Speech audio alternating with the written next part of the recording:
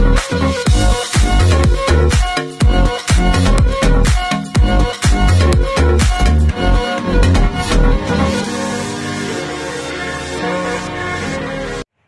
สดีครับ วันนี้ผมจะนำเสนอสื่อความรู้เกี่ยวกับสัญญาจ้างแรงงานนะครับ หรือ Hire of Service Contract นะครับ ซึ่งเป็นส่วนหนึ่งของรายวิชาเอกเทศสัญญา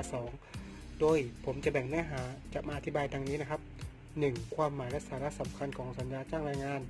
2. ลักษณะของสัญญาจ้างแรงงาน 3. หน้าที่ของลูกจ้าง 4. หน้าที่ของนายจ้าง ถ้าพร้อมกันแล้ว รับชมกันเลย ปัจจุบันนี้นะครับ สังคมเราต้องทำงานเพื่อความอยู่รอดในการดำรงชีวิต เพื่อสร้างคุณภาพชีวิตที่ดี ซึ่งก่อนที่เราจะทำงานนั้นจะต้องมีการทำสัญญาระหว่างนายจ้างและลูกจ้าง ซึ่งเรียกสัญญานั้นว่าสัญญาจ้างแรงงาน แล้วสัญญาจ้างแรงงานคืออะไร มาดูกันเลย มาตรา 575 อันว่าจ้างแรงงานนั้นคือสัญญา ซึ่งบุคคลคนหนึ่ง เรียกว่าลูกจ้าง ตกลงจะทำงานให้แก่บุคคลคนหนึ่ง เรียกว่านายจ้าง และนายจ้างตกลงจะให้สินจ้างตลอดเวลาที่ทำงานให้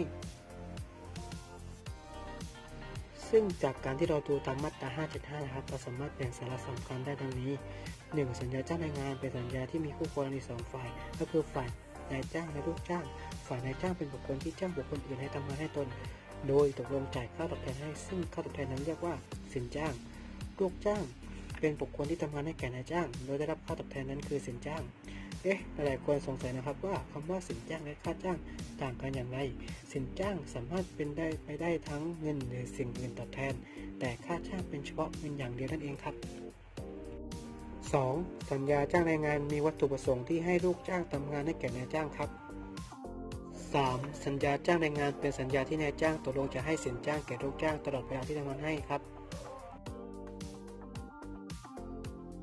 ต่อไปนะครับ เราจะมาดูลักษณะของสัญญาจ้างแรงงานกันนะครับ ว่ามีอะไรบ้าง ลักษณะของสัญญาจ้างแรงงานมีลักษณะต่อไปนี้ 1. สัญญาที่มีลักษณะเป็นการเฉพาะตัวของลูกจ้างเอ๊ะหลายคนสงสัยนะครับว่าเฉพาะตัวของลูกจ้างเป็นยังไง ก็คือต้องพิจารณาความสามารถตามที่นายจ้างกำหนด เช่น ความสามารถวุฒิการศึกษาทักษะทางด้านคอมพิวเตอร์ หรืออื่นๆ แล้วแต่ทางนายจ้างกำหนดนั่นเองครับ 2. สัญญาที่นายจ้างต้องร่วมรับผิดในผลแห่งละเมิด ที่ลูกจ้างได้กระทำการไปในทางการที่จ้างนะครับคำว่าละเมิดคืออะไรครับ ก็คือจงใจหรือประมาทเลินเล่อทำต่อบุคคลอื่น โดยผิดกฎหมายให้เขาเสียหายถึงแก่ชีวิต ร่างกายอนามัยเสรีภาพทรัพย์สินหรือสิทธิ ดังนั้นนายจ้างต้องร่วมรับผิดในผลแห่งละเมิดที่ลูกจ้างได้กระทำการไปในทางการที่จ้างนะครับ 3. สัญญาที่มีลักษณะที่นายจ้างมีอำนาจควบคุมบังคับบัญชาของลูกจ้าง คือยังไงครับก็คือ มีอำนาจสั่งให้ลูกจ้างทำงานตามวิธีที่ตนต้องการได้ ลูกจ้างต้องทำงานอยู่ภายใต้การควบคุมดูแลเชื่อฟังคำสั่งของนายจ้างตลอดเวลาโดยอำนาจในการบังคับบัญชาของนายจ้างนั่นเองครับ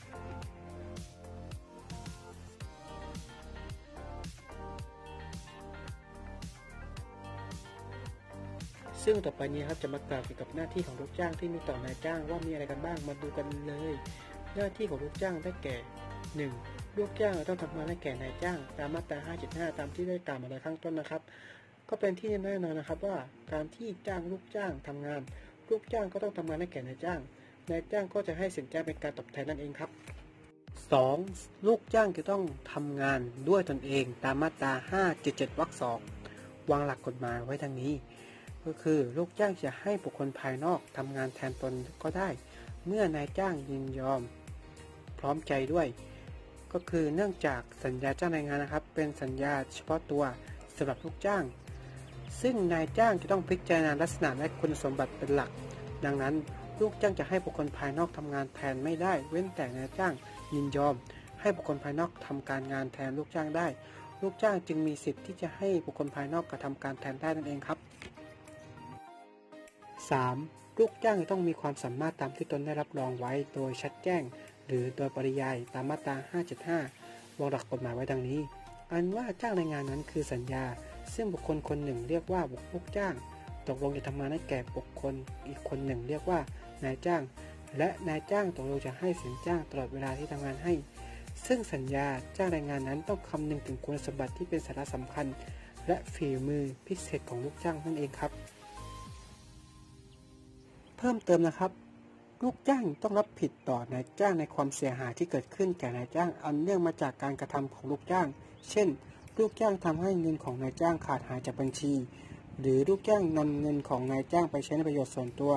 หรือลูกจ้างปิดบังเอาเงินของนายจ้างไป หรือลูกจ้างฝ่าฝืนคำสั่งของนายจ้างทำให้นายจ้างได้รับความเสียหายนะครับเป็นต้นนะครับ ซึ่งต่อไปนี้นะครับจะมากล่าวเกี่ยวกับหน้าที่ของนายจ้างที่มีต่อลูกจ้างนะครับมีอะไรกันบ้างมาดูกันเลย หน้าที่ของนายจ้าง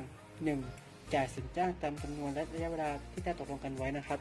ก็คือซึ่งเมื่อลูกจ้างทำงานเสร็จนายจ้างจะจ่ายสินจ้างให้แก่ลูกจ้าง ซึ่งการจ่ายสินจ้างนั้นนายจ้างจะต้องจ่าย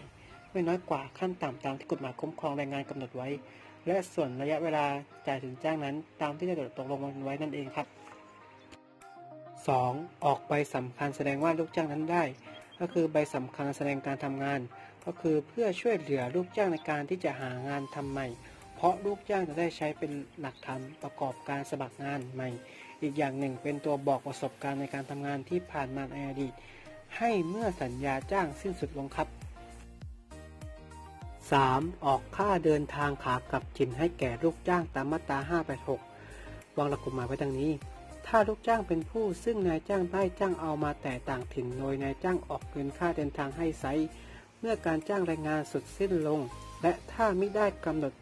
กันไว้เป็นอย่างอื่นในสัญญาแล้ว ท่านว่านายจ้างจำต้องใช้เงินค่าเดินทางขากลับให้ แต่จะต้องเป็นดังต่อไปนี้คือ 1. สัญญาไม่ได้เลิกหรือระงับ เพราะการกระทำหรือความผิดของลูกจ้างและ 2. ลูกจ้างกลับไปยังถิ่นที่ได้จ้างเอามา ภายในเวลาอันสมควร จากมาตรา586นะครับนายจ้างจะต้องออกค่าเดินทางขากลับสรุปได้ดังนี้นะครับ ก็คือ 1. นายจ้างได้เอาลูกจ้างมาจากต่างถิ่น โดยนายจ้างออกเงินค่าเดินทางให้ 2. สัญญาจ้างแรงานมิได้เลิกหรือระงับ เพราะการกระทำหรือความผิดของลูกจ้าง 3. นะครับลูกจ้างกลับไปยังที่ได้จ้างมาเอามาภายในเวลาอันสมควรนั่นเองครับ